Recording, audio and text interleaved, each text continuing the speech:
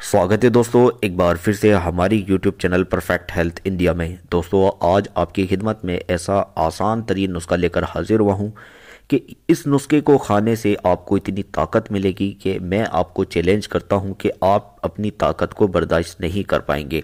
शादीशुदा हजरात ही इसका इस्तेमाल करें, गैर शादीशुदा इसका इस्तेमाल करेंगे तो उनमें इतनी ताकत पैदा हो जाएगी कि वो बर्दाश्त से बाहर हो जाएगी, उनका मुँह सुरख हो जाएगा, इतनी ताकत उनके अंदर आ जाएगी। उनके तनासुल बिल्कुल सुरख हो जाएगा, ऐसी ताकत उनके अंदर हो जाएगी। ठीक है? तो अगर आप शादीशुदा हैं तो इसका इस्तेमाल करें, वरना आप इसका इस्तेमाल बिल्कुल ना करें। शादीशुदा हजरात के लिए सर्दी के मौसम में ये एक तोहफ़ा है। ठीक है? सबसे पहले मेरी आपसे गुजारिश है, अगर आपने हमारा चैनल सब्सक्राइब नहीं किया तो चैनल को ज़रूर सब्सक्राइब करें, बेल का आइकन ज़रूर दबाएँ, जिससे आपको हमारी नई और ताज़ा वीडियो अपडेट और नोटिफिकेशन में मिल जाएगी। दोस्तों, इस नुस्खे का इस्तेमाल करने से पहले आपको सबसे पहले तो परहेज़ करना है, अपने खाने पीने पर कंट्रोल करना है, खट्टी चीज़ें फास्ट फ़ूड कोल्ड ड्रिंक इन चीज़ों से आपको परहेज़ बनाकर रखना है। मर्द हजरात के लिए ये चीज़ें बहुत ख़राब हैं, बहुत ख़तरनाक है।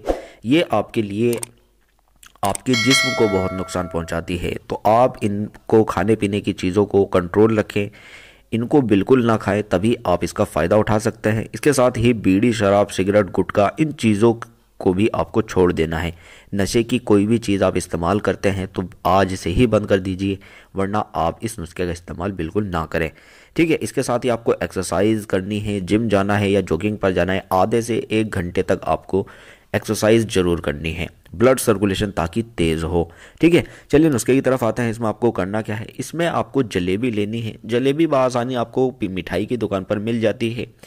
आपको करना क्या है? जलेबी वाले से आपको एक बड़ा फूल बनवा लेना है। जलेबी का पूरा एक बड़ा फूल बनवा लेना है। इसके साथ आपको इस फूल को लेकर आपको एक गिलास गर्म दूध लेना है। एक गिलास गर्म दूध बसानी आपको मिल जाएगा। ठीक है, करना क्या है? दोनों चीज़ों को दूध में जलेबी को डालकर अच्छी तरह गर्म करना है।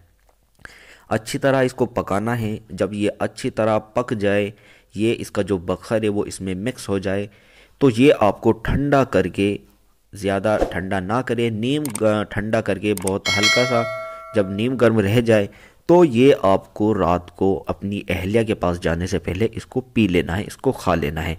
ये एक ऐसा बेहतरीन नुस्खा है कि आपकी ताकत में इतना इजाफा करेगा कि आपकी ताकत बर्दाश्त से बाहर नहीं होगी। पुराने लोगों का ये इस्तेमाल पुराने लोगों का ये तरीका है, वो इस्तेमाल इसी तरह जलेबी का करते थे।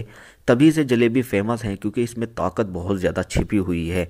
तो हमको नहीं पता था, आज के टाइम में लोगों को नहीं पता, लेकिन नीम हकीम इस बारे में जानते हैं। तो मैं आपको इसी वजह से बता रहा हूँ कि जो पुराने लोग जो अपनी ताकत बताते हैं कि हम ऐसी ताकत वाले थे तो वो यही रीज़न है। ठीक है? ये इस्तेमाल करें, इंशाल्लाह आपकी ताकत में बहुत इजाफा होगा। तो दोस्तों, ये थी आज की हमारी वीडियो। उम्मीद करता हूँ आपकी समझ आई होगी, पसंद आई होगी। किसी भी नुस्खे का इस्तेमाल करने से पहले अपने डॉक्टर या हकीम से सलाह मशवरा ज़रूर करें। शुक्रिया, धन्यवाद। जय हिंद, जय भारत।